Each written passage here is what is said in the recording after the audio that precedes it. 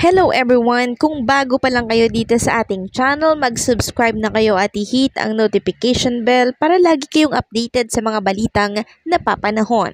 Welcome po sa Durs TV. Andito na naman ako para maghatid ng mga bagong balita na may kaugnayan sa TBJ at isa na nga sa ating pag-uusapan ay tungkol sa pagkatalo ng TBJ sa Itbulaga na kinaalarma po ng marami. So, i-explain natin mamaya kung bakit ganito po ang nangyari. Kumalma lang po kayong lahat kasi ipapaliwanag ko sa inyo ang mga bagay-bagay, okay? At bukod pa nga dyan, atin ding pag-uusapan ang tungkol kay Atasha na kung saan ay halos tubuan na po ng nerbiyos nang dahil sa nangyari sa kanya dyan po sa Itbulaga.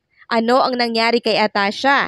Yan ang ibabahagi ko po sa inyo mamaya pero bago ang lahat, ibabahagi ko lang sa inyo itong kumuha po ng attention ko kanina sa naging post ni Best Field. So sabi niya, basahin ko lang po sa inyo, yung threaten sila sa number one na tahan ng pinakamasaya, pilit ibinapabagsak daw. Ganito mukha ng mga threaten sa tamang uh, tahanang pinakamasaya. Mga kapuso, happy watching daw. Yung threaten sila sa tahanang pinakamasaya. So yun yung caption ni Vespils. Alam ko ang sasabihin ng iba dyan ay Miss Durs, dapat di mo na pinatulan ang mga ganyang post ni Vespils. Yes po, tama po kayo. Dapat hindi na talaga, pero hindi ako makatiis. Kasi, wala naman pong natitreten sa tahanang pinakamasaya sa totoo lang. Imbis na i-promote niya na lang po sana para lumakas-lakas ang hatak ng show, eh parang si Bes pa po yung pinagmumula ng hate ng taong bayan. Tapos sasabihin ng isang taga-tape na ako daw po ang promotor para magalit ang taong bayan sa show nila. Eh di wala nga akong sinasabing masama sa kanila, kundi panay paks lang. Binibigyan ko nga sila ng advice, di ba, na ganito gawin nyo, ganyan para tumaas yung ratings. Ang sisihin nila yung ilang depender nila na ganito po ang ginagawa. Katulad ni Best Pills. Siya talaga yung nag-iimbita po ng galit at inis ng taong bayan. Isa pa, kahit wala po kaming mga taga pagtanggol ng TBJ, eh may inis at magagalit ang taong bayan sa kanila dahil sa nangyari po sa Tito Vic and Joey. So wala daw tayong alam sa totoong nangyari sa loob ng Itbulaga, kaya nga sabi ko baka pwede kong malaman kung ano po yung totoo para marinig naman namin yung side mo. Kaso nga ayaw niya pong magsalita kasi baka makontent lang daw natin. So at least uh, sana 'di ba narinig natin yung side niya. Kasi sa totoo lang eh walang uh, wala namang pong uh, masaya no na merong mawawala ng trabaho sa kanila. Kaya nga ang sabi ko, gawin nila yung pwede nilang gawin para makasabay sa It Showtime at sa It Bulaga. Kasi sa totoo lang po, eh bumababa po talaga yung kanilang ratings. Samantalang ibabahagi ko naman sa inyo itong naging post ng TBJ na page na ganap po kanina na kung saan ay dinaanan at dinalaw po ni na Jose itong si uh, Lola Geneva na isa po sa mga maswerteng nabunot kanina sa pila. So ayon dito talagang legit Dabarkad sina Lola Ipipanyo and Lola Genebeba dahil lagi silang nanonood ng Itbulaga.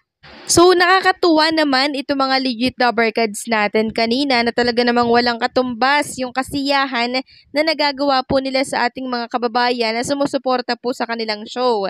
Kaya naman napaka-solid din po ng pagsuportang binabalik at binibigay sa kanila ng taong bayan.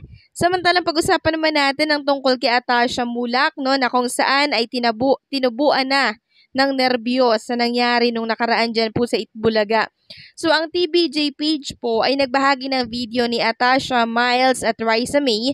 Si Atasha at Raisa May po, balak po sanang gulatin itong uh, si Miles Ocampo kasi ba- padating na po no itong si Miles nasa locker po sila niyan pero hindi po inaasahan nila Raisa May at Atasha na sila pala ang magugulantang dito kay Miles Ocampo kaya Ganun na lang po ang gulat nitong si Atasha Mulak na siyang makikita po ninyo sa ekspresyon ng mukha ni Atasha and itong si Raisa May Dison.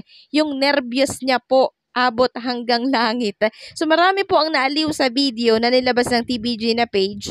Tawang-tawa sila kay Atasha at Raisa May. Sabi nga nila epic fail daw itong ginawa po ni Atasha at itong si Raisa May. So akala nila eh may isahan po nila si Miles Ocampo. Sila ang naisahan ngayon. Samantalang pag-usapan naman natin ang tungkol sa muli na namang pagkatalo ng Itbulaga laban sa It Showtime na ratings. Sa lumabas pong ratings for February 7, 2024, lumamang na naman ang It Showtime laban sa Itbulaga. So ayan, ipapakita ko na lang po sa inyo. Nung February 6, lumamang naman ang Itbulaga 4.3 at nung Showtime naman ay 4.0. Tapos nung February 7, 3.9 ang Itbulaga, medyo mababa.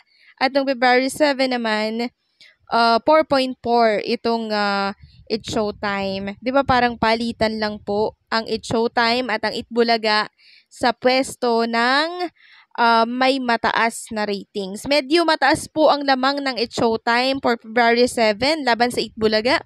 Alam niyo naman kung bakit dahil yan sa bagong segment ng It Showtime na especially for you na kung uh, saan ay ang tangpok po doon ay yung mga contestant na mag-ex or mag-jowa na ang tinatalakay ay yung mga naging sitwasyon nila na siyang kumukuha po ng atensyon ng mga viewers every noontime show.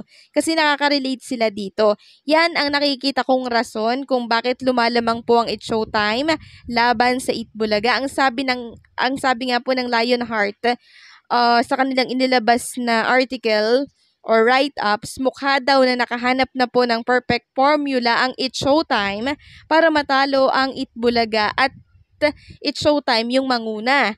So, palitan lang naman sila ang Itbulaga at ang It's Showtime, 'di ba, sa ratings. So kahapon, 'di ba, or uh, bukas mataas yung Showtime, kinabukasan Itbulaga naman po ang mataas. Ibig lang sabihin nito, napalitan lang po sila sa mataas na ratings, 'di ba? Pero syempre, nakakaalarma na po 'yan. Ibig lang sabihin nito na dapat na pong magdagdag ng mga segment ang Itbulaga para mas mapalakas ang show nila. Kasi in 45 years, wala wala sa kanilang tumalo sa totoo lang. Kaya alam kong alam po nila or alam ng TBJ ang gagawin na move no para po hindi sila maungusan ng kalaban. So kung inyo natatandaan yung update natin kahapon na meron pong ilalabas na bagong segment ang Itbulaga.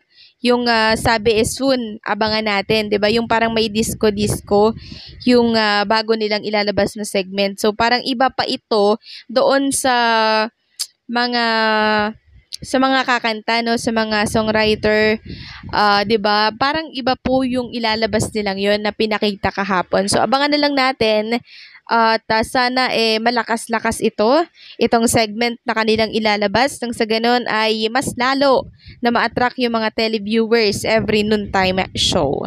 Hanggang dito na lamang po ang update natin at maraming salamat po sa patuloy na pagsuporta at sa mga hindi pa po nakaka-subscribe sa ating uh, channel na Durs TV, paki-click ang subscribe or follow na rin ang ating Facebook page na Durs TV.